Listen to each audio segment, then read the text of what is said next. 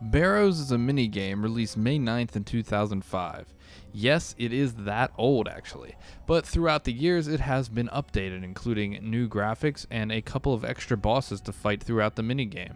So, what we want to do is take an old guide back from 2006 and see if their method still applies today. Can we defeat Barrows using their old way of thinking?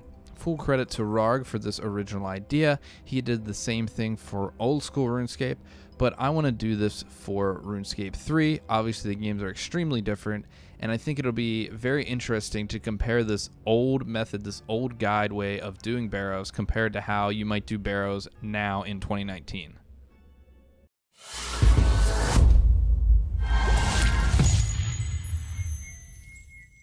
So here is the old barrows guide back from 2006. This is from tippit.com. I'm sure if you played back then, you would remember this website as they had guides for basically everything in RuneScape. This was basically the go to website along with stuff like RuneHQ and Zybez. So I feel like this is a pretty good guide to go off of to see basically what was required back then for doing barrows. So let's see what information they have for us. All right, getting there, that is the first thing. And all right, so these methods are all viable still today. You can still use them coming from Varrock the long way through the swamp or going through the dungeon and taking the boat. Those both still work. Obviously, now kind of the quickest way is just to use the Drakan's Medallion, which will take you right to the Barrows entrance. But back then, these were the choices you had, so keep that in mind. Let's see what kind of gear they had for us. Gear setups. Okay, so two different gear setups for if you're under 90 combat or over. So full Mystic and a Farseer helm. Haven't seen those in a long time. Got Legends Cape, some Rune Arrows, Rune Kite Shield, and a Ring of Life. Wow. And then I guess if you're using the Slayer Dart method, which uh, I think is what we're going to use, I remember that being very, very popular because the runes from Barrows just kind of fueled the Slayer Dart. So easy to use. And uh, this person here even has like wizard boots, and I guess this is like a charged glory. This one looks like an uncharged glory to me. And a prayer book. So let's see, we got some runes here for a Lumbridge teleport, as well as our runes we need for our spells. Ectophial, which would probably be the easiest telly to start walking through the swamp. And then it looks like they are going with sort of a tribrid setup and that would be for meleeing Karil and using ranged versus Ahrim. And we got some prayer pots, some sharks. And I guess if you're a high enough level, you do not even uh, need prayer potions. So cool. So we'll see how these setups work out for us in RS3. And the last thing I guess to look at is killing the brothers. What sort of strategy they have. So let's see. In this order, they want us to go Verac, first. Torag. This is not the actual order, is it?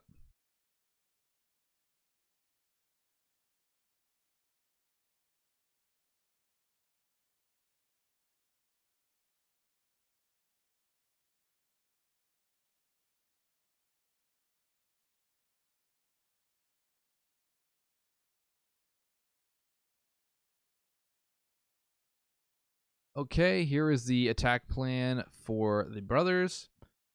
First thing, they want us to go in and go to Dharok, defeat him. Then they want us to go to Karil. After that, they want us to go to Guthan, then Torag, then Ahrim, and then lastly, you would go to Verac. So we'll try to keep that same strategy as we actually test this method out for ourselves in modern day RS3 with this old guide. Alright, so here we are at the Ectofuntus, ready to make our journey to Barrows. Equipped with all the necessary gear based on the guide that we looked at. Got the Farseer Helm, Cape of Legends, got Full Mystic, got a Slayer Staff. Of course, this Slayer staff is two-handed, unlike in the past it was one-handed, so I can't have a prayer book or a shield on. So obviously, part of this video is to show how some things have changed, and obviously staffs have changed quite a bit, but we're doing it as close to this old guide as possible. We got our glory, we got our ring of life, got rune arrows. Coming to the inventory, we got our runes for our Lumbridge teleport. And then I do have the death runes, and the old Slayer Dart spell was mind runes, but the new one is air runes, so I have to switch out for air runes. Got our Ectophial to teleport back. Dragon Longsword Spade, we're to need that to dig, obviously. Got a Magic Short Bow, got our Black Dragon Hide, and our Rune. And we got our Prayer Potions, and I am using 3 dose Prayer Potions, because that's what the guide used. And then we got some Sharks, so let's go ahead and go to Barrows.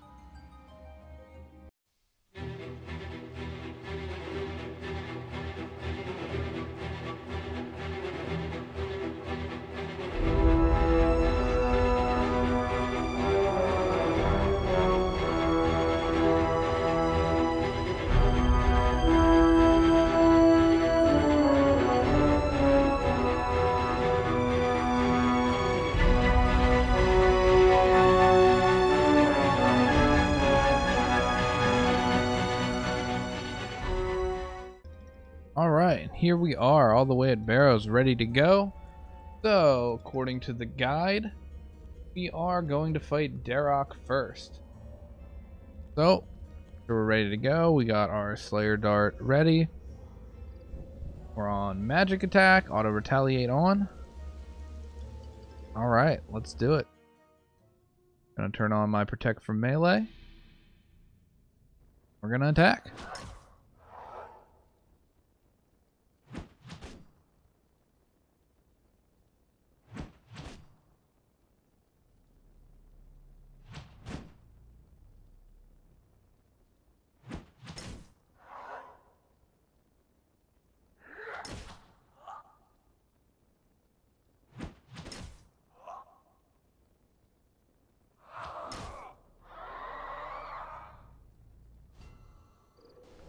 Alright, that wasn't too bad.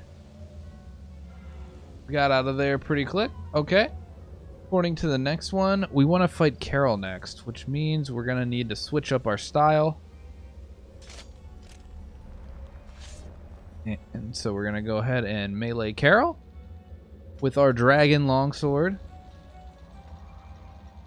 Uh, go ahead and do that. We're going to be protecting from ranged.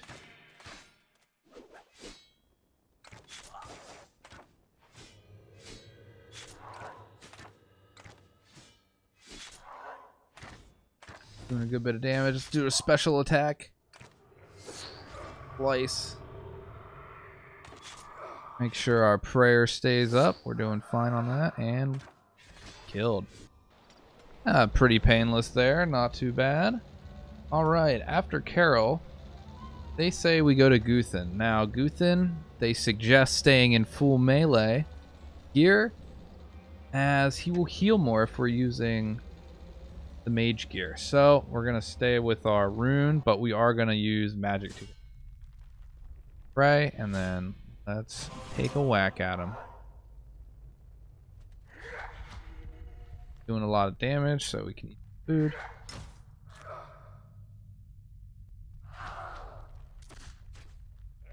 Splashing here. This is hard. Big hits, big hits. Alright, alright. Wasn't too bad. Alright. Now we're going to go to Torag. Do the same sort of thing, but we're going to go back to our Mystic. Ah, as Torag isn't nearly as strong as Guthan, I guess. Or we don't have to worry about the heal, so we're going to pray from melee and start attacking. This uh, Slayer Dart seems to be a slow spell. It's very interesting seeing this this legacy mode compared to EOC that's been around for so long. The abilities attack almost constantly, and this attacking of the legacy mode is just way slower. It's pretty interesting. So we are taking a while to kill this guy here. Although he's really doing like no damage to us. I want, you know, I guess maybe I should have found this out, but I'm not sure if in EOC or if, if Prayer's in Legacy mode. Now it looks like Prayer's still only reduced by 50%, so. Not sure, because old Prayers obviously did 100% reduction. Let's see what we got next. Alright, they say Ahrim next, so. This is where we want our range, so we're putting on our black D-hides. We got our magic short bow. We're going to pray from magic. We're going to drink a prayer po potion. Oh man, he hit us hard there. Better get a special attack in. Bam. Better eat some more food. It's pretty hard. One more attack. Alright. Honestly, pretty easy. And the last one is Verac. And Verac is going to be the same setup here as for the other melee brothers. And here we go. Now we got to find our doors.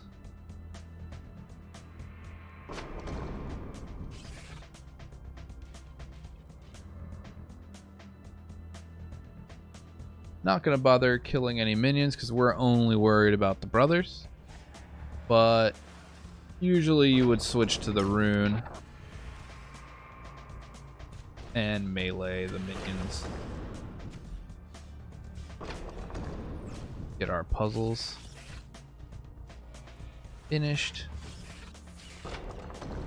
Alright, about to fight our last brother here. Turn on Protect for melee, drink a rare potion dose, and attack Verac with our Slayer Dart.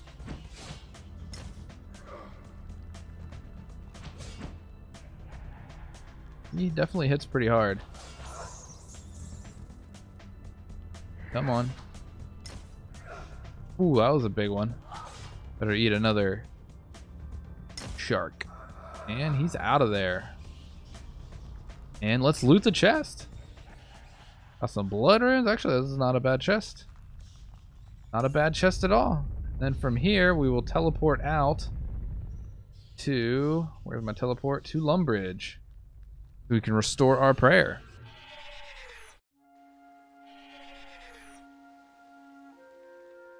Come down here and church to restore prayer. So, the answer to the question is this method still viable? Um, it didn't go too bad, honestly. I thought it was going to be a lot worse. Uh, but to be honest, I haven't really played in legacy mode for, I mean, really since it switched. Since it switched to EOC, I've never even tried to do legacy mode, so I wasn't really sure how it would do. Um, it seemed to do fine, even with all this older equipment, when obviously there's much, much better stuff to be available. Okay, and this is going to be how I would do barrows now with all the modern things in RS3. So, starting off with the equipment, I would just use full subjugation. There are better armors in this, but it doesn't degrade, and it's pretty good generally for uh, low-level bossing and for Slayer. I would use a Kiln Cape, uh, Amulet of Souls, the Book of Wisdom, Cinderbane Gloves, Augmented Staff of Darkness, and Asylum Surgeon's Ring. And then for the inventory, we got air runes and fire runes, and that is so we can use the fire surge spell. As Linza is weak to fire, so that's going to help out as Linza is going to be the strongest. Uh, enhanced Excalibur for healing, a Ring of Vigor switch for using Sunshine, then we got a Holy Overload to boost our stats, and a bunch of Prayer Flasks to restore prayer after each run. And then a couple of Rocktail, basically just safety food. And then what we have is the Barrows Amulets. This will let us skip three brothers that we don't have to fight um, per run. So that'll make the runs go easier. And then we got our Drakan's Medallion to get us there faster. So let's go ahead and do a run. So let's teleport, and we can go right to Barrows.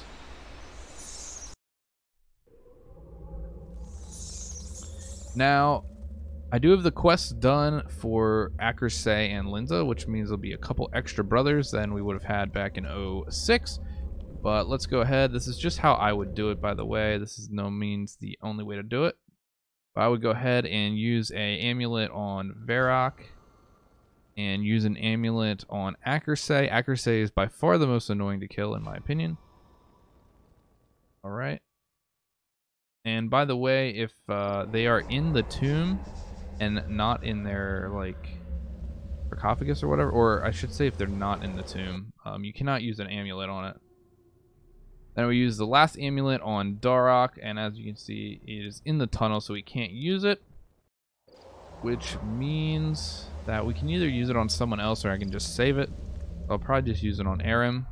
We use it on Ahrim, and now we are going to fight Linza, who is the hardest boss. So let's go ahead and drink a Holy Overload. And go here, and we're going to turn on Soul Split and Torment. And basically, Linza's going to take the longest. All the other ones will die very quickly. But we just need to make sure we keep our prayer up. And then, shouldn't take too long, hopefully. Once we get up Sunshine, we'll start DPSing a lot faster. Let's get that up. Alright, Sunshine up. And then we'll start using some thresholds here once we build up the adrenaline again. Honestly, Linza is the only one in all of Barrows that actually takes a while. Everything else is super easy. And you have to complete Kindred Spirits to even unlock Linza in here. Um, but her armor is like the most expensive, so it's a better drop. So I think it's worth doing.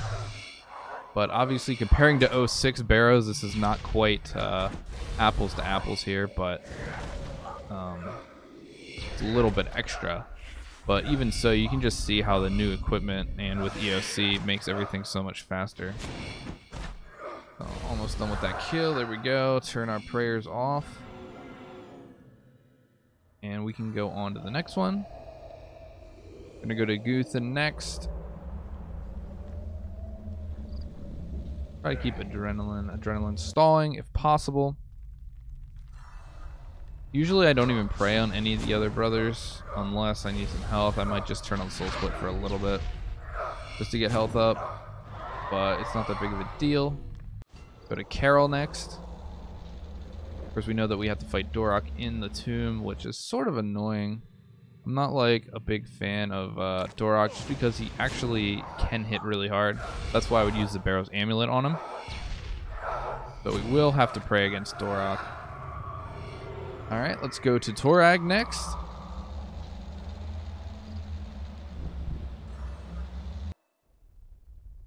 Probably the easiest, I would say, out of all of them. We'll go ahead and turn Soul Split on because I am a little low on health.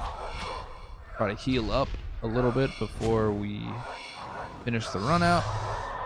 Nice kill.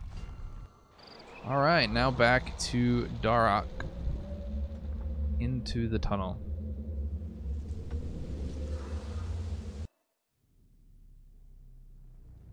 Yes, we would like to enter.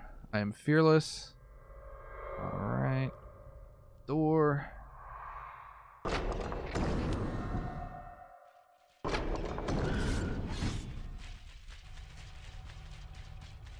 Looks like this is going to be a long one. Never seem to get the easy doors.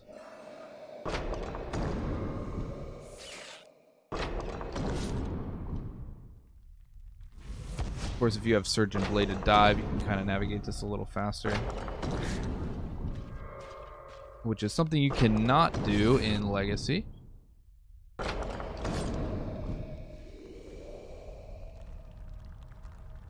Open door, please. Alright, this should be the door. Yep. Okay. Obviously, all the puzzles and stuff are the same.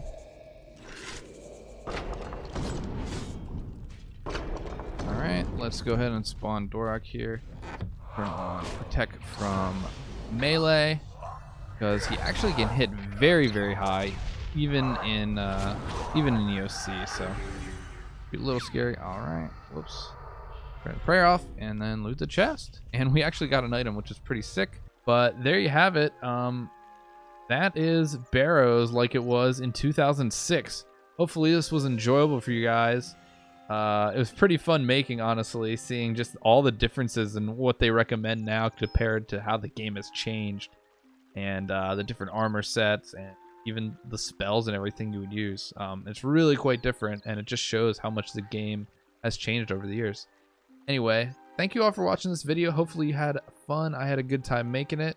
Please like, comment, and subscribe if you did enjoy the video, and I'll catch y'all in the next one.